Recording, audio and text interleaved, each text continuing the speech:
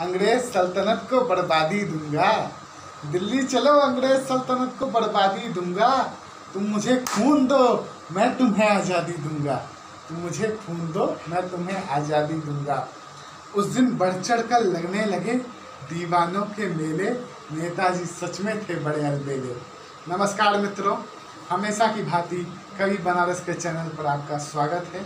आज फिर एक कविता देश के एक ऐसे नायक को जिन्हें सच में शायद आज भुला दिया गया है। तेईस जनवरी को उनका जन्मदिन, उनके जीवन काल की कुछ घटनाओं से जोड़ती हुई ये कविता सीधे सीधे आप तक, ताकि वो यूथ आइकॉन वापस ज़िंदा हो, हमें नेताजी वापस चाहिए और क्यों चाहिए, वो इस कविता के माध्यम से सुने। माया की बेड़ी तोड़, चला जो सत्य प्रकाश पाने। माया की बेड़ी तोड़, चला जो सत्य प्रकाश पाने।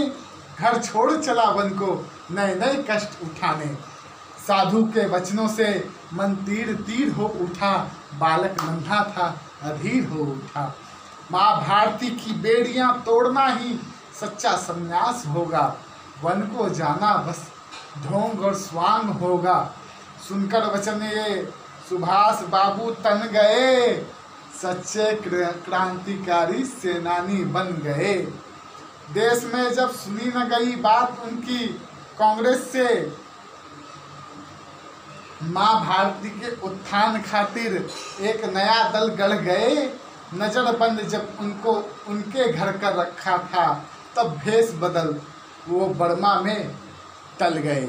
हिटलर भी जिससे थर्रा गया, जोश देख दीवाने का पगला गया।